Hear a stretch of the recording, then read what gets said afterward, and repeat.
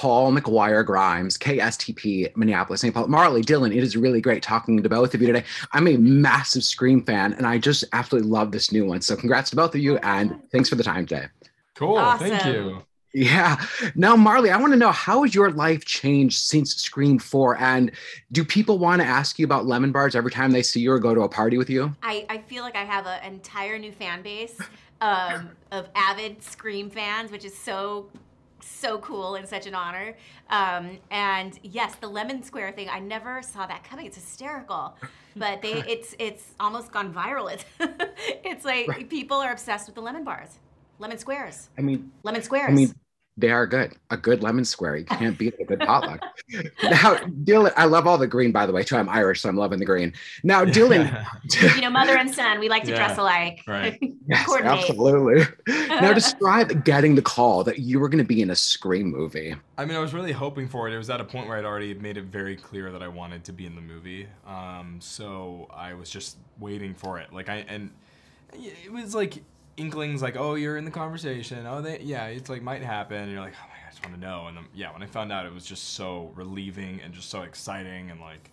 I just immediately jumped into like marathoning the Scream movies again because I just wanted to feel refreshed and excited. And uh, yeah, I mean, I'm it's I'm still over the moon about it. I'm excited it's finally coming out and I get to just watch myself in a Scream movie. Right. That, that's awesome. Yeah. How, what kind of security measures were there on set to just avoid spoilers? Were there like fake pages of the script? Did you only get your own sides? Were there multiple ending shots so that everything was a secret? We did have different endings. People had different. Um...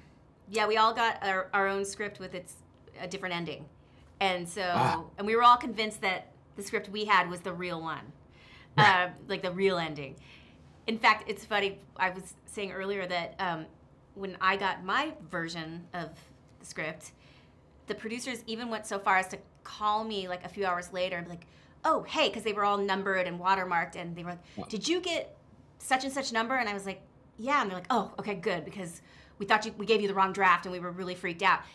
I, I think that was all a ruse now looking back that this was all just part of the, the scam um, to keep us in the dark. But I don't know. I'm gonna have to. I'm gonna have to follow up on that. Right. That's hysterical. Yeah. Was, do you like that as actors not knowing, or does it kind of bother you that you're like, well, I don't know the full arc of this movie or where it's going next? I think with Scream, you have to just commit that you're a potential victim and a potential suspect at all times. I mean, that's the whole idea anyway, where all the characters always teasing that out for the audience. Um, so I think you just have to surrender, right? Yeah, yeah. yeah. That's awesome. Now, Neve, I've heard that Neve Campbell and both Jamie Lee Curtis, both these iconic scream queens, the the final girl, they actually both don't like watching scary movies. So is it you guys actually like watching scary movies on top of being in one now? I love watching scary movies. So like I'm I'm obsessed. Huge I'm a huge horror fan. I do too. I'm more it. for the the, you know, psychological thriller than the straight out slasher, which I think Scream is definitely psychological horror and obviously it's got some great slasher moments too. Um, but yeah, I I like a good scary movie. I think they're the most fun movies oh, to be yeah. in as well because when you go and, and you watch them in a movie theater with people and you're in it, you're just waiting for their reactions to things. And you and you don't get the same effect if it's like if you're in a drama or you know something like that. It's it is better when it's a horror movie. You're like, oh, I can't wait for them to see this part and this jump scare. And yeah, I love it. I love it. Uh, I got the wrap. It's been great. I was the one audibly reacting in our screening to all the little like references and pop culture things that I had a total talk class. So thank you so uh, much. I appreciate the time. Fantastic. Thank you. Thank you. Melissa, it is fantastic talking to both of you today. I am a massive Scream fan. And Melissa, when I, when I talked to you for In the Heights, I told you that. So I'm just glad that we can t- finally talk about it today. So thank you so much. Thank you. Thank Bye. you. This movie is I love this movie and it's such a fantastic addition to this franchise. I'm just so excited fans get to see it. Thank you. Yeah, Thank now, you, Melissa. Yeah. How did Neve or Courtney give you any advice on being the lead in a Scream movie and kind of what to expect afterwards? Um, no. Uh, Neve, Neve did give like a general piece of advice to all of us, which was have fun, which we did because we just became so like a family. We had so much fun making it. But I learned a lot from Neve and Courtney just by watching them work you know, like watching their work ethic, their professionalism, the way that they approach scenes.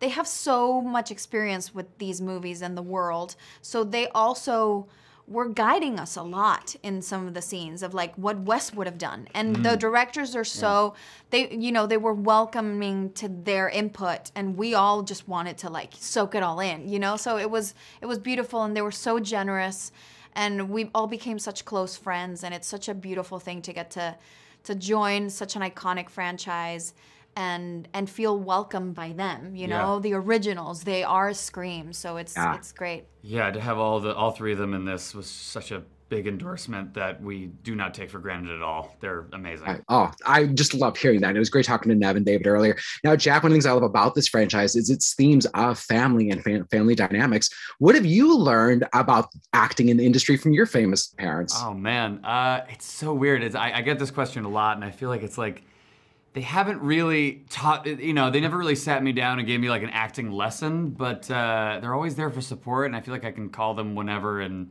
specifically in the beginning, you know, uh, I think the the extent of it is really like how long am I going to wait in this trailer before they call me to set?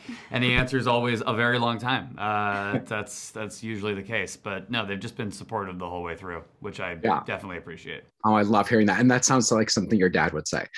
Um, now, Melissa, this movie has one of my favorite like franchise kills in it. And I don't even say what it is, but do you have any favorite kills or killers from the first four movies? I feel like one of my favorites is the opening of the second movie is that that big movie theater scene. It's just so it's terrifying because everyone is watching her die and cheering it on Yeah. thinking it's part of a show and I just feel like it's the most mortifying thing to to be suffering and people think that you're acting or that it's a joke. I just can't It's really That is chilling scary. to me. Yeah. So that for me it really marked me. I mean, Kevin Williamson, a genius. Yes. Now, Jack, have you read any of the fan theories about this? I'm in a Facebook group called Woodsboro Film Club, and I'm like, just there's like theories all the time. Yeah. Like, oh my god, you guys! So, like, did you ever go and read them? I'm like, oh, they've got it. Oh yeah, all the time. I, I've read I've read a bunch of them. Uh, I've, I've gone on YouTube. I've I've, I've yeah I've sought out Jack's a like, lot of I'm the president of that Facebook. Uh, yeah, that's me. I'm uh, yeah, I'm the head of the Woodsboro Film Club.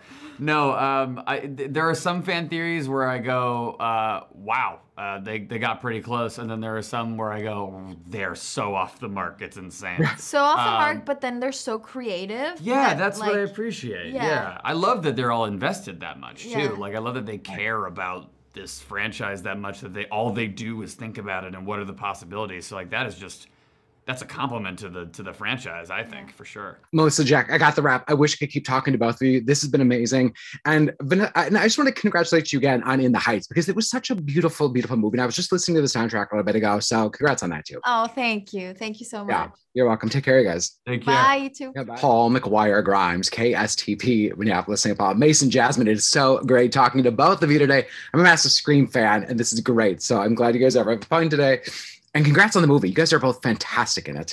Oh, thank, Thank you. you. How, how I could loved not it. as lovely as this. Oh, this handsome devil. Now, Jasmin, I want to start with you. Describe getting the call that you were going to be in Scream. What went through your head? I was thrilled. I was so excited to get to join this amazing team. I was excited to get back to work because this was in the middle of COVID. I was excited to know I could pay my rent for the next couple months. I was just all around excited and grateful, and, oh, I was then I all- and then I met this one, and and now here we are today. We are forever united. Truly. I was also excited to be able to pay Jasmin's rent. Yeah, he pays my rent. When I can, when she lets me.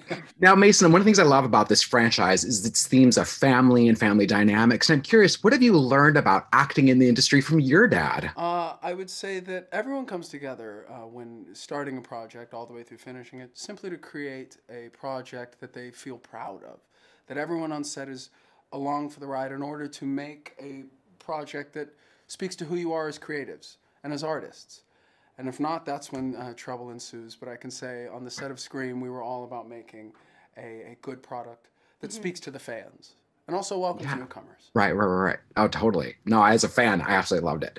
I now, so. Jasmin, yeah. Now, what kind of security measures were in place to just avoid spo- spoilers? Well, we were given multiple different script endings, each of us. So we didn't know. We we didn't even know who the killer was. Is it this person? Is it that person? Is it all of those people? Um, I feel like that's the main one. And then they also you know, each night would lock us in a closet and put a padlock on the door. And we didn't have access to our phones. We had to give them our phones and also our IDs. I mean, it's important to uh, protect the integrity of the Scream narrative. You know? Yeah. Absolutely. I mean, of course, especially when you have such a connection to the character Randy. You know, like That's you got to right. Yeah. That's Wow. right. Yeah. Now, this Mason, this movie talks a lot about fandom. Did you read any fan theories, kind of either going in or once people when people found out you were in it, like what they were saying to you, what they thought was going to happen? Oh, certainly. I, I saw a bunch of crazy fan theories that thought I was going to be good.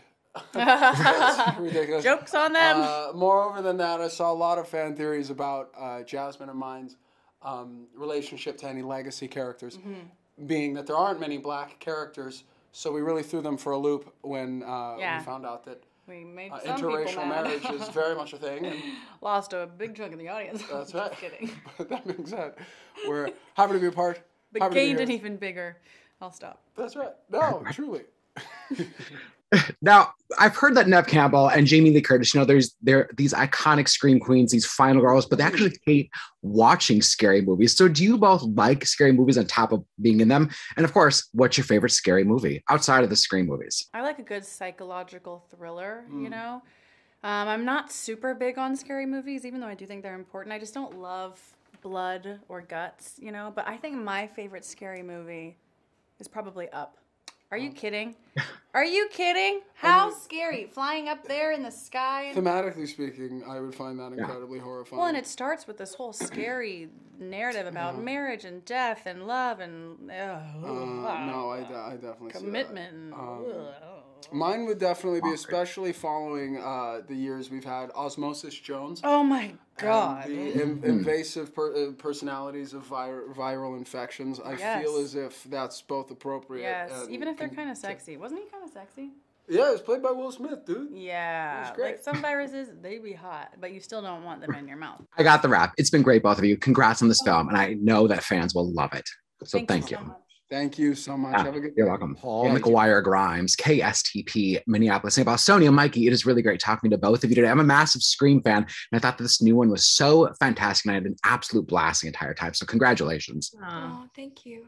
Yeah. Now, Sonia, I want to start with you. Describe getting that call that you were cast in Scream. What went through your head? I just I couldn't believe it. I it's funny because I, I remember after getting the call back and and speaking to the directors for the first time, I was like, there's no way I'm gonna get this. Like this is like I have no experience as an actor. I'm like and I wrote it down, like manifested it. I like it was a full moon. I like I remember telling you guys this when I just got there about like I was like manifestation is real, and they're like, "Who's this crazy girl?" I'm like, because I feel like I, anyways, I re- I wanted it so bad, and and so when they I got the call, I I freaked out and I literally screamed, um, and still am still am like pinching myself and can't believe it's I love hearing that. I, I'm I'm a believer in manifestations. I'm just going to keep that up too for some of my things.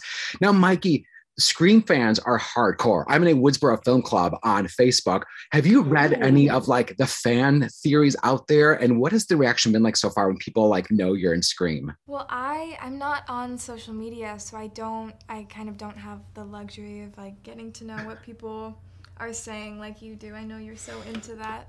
Um, but you know, so we have a, a a group chat with the cast and uh, the producers and directors, and sometimes people will send little things, and that's always really exciting to see. Yeah. Oh, that's great. Now, Mikey, were you given like a dossier of movies or just things to reference throughout outside of the main Scream movies? No, um, they didn't give any references. I, of course, went back and watched all of the movies, like uh, all four of them in a row, um, and studied that. But no, I, I think uh, the directors were just really open to our interpretations of the characters. Yeah. Yeah. Now, Sonia, what security measures were in place to just avoid spoilers? And did you have fun kind of not knowing on set what was going to be happening next? It's so interesting because I mean, I've heard that this doesn't happen often where they keep things so secret and like, and um, for instance, in our case, like handed out different scripts with different alternative endings and moments and and things like that. So uh, that kept the whodunit aspect of it like off screen as well and, and made it like a fun uh, a fun choice for like the the directors and production to do for us.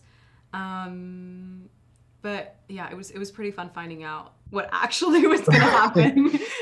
oh, completely. Yeah. I was someone that was audibly reacting throughout the entire movie. Really? I got the wrap. It was a blast. Thank you for the time today, and I just hope that fans and other people love it as much as that I that I did. I hope so. Thank you Thank so you. much.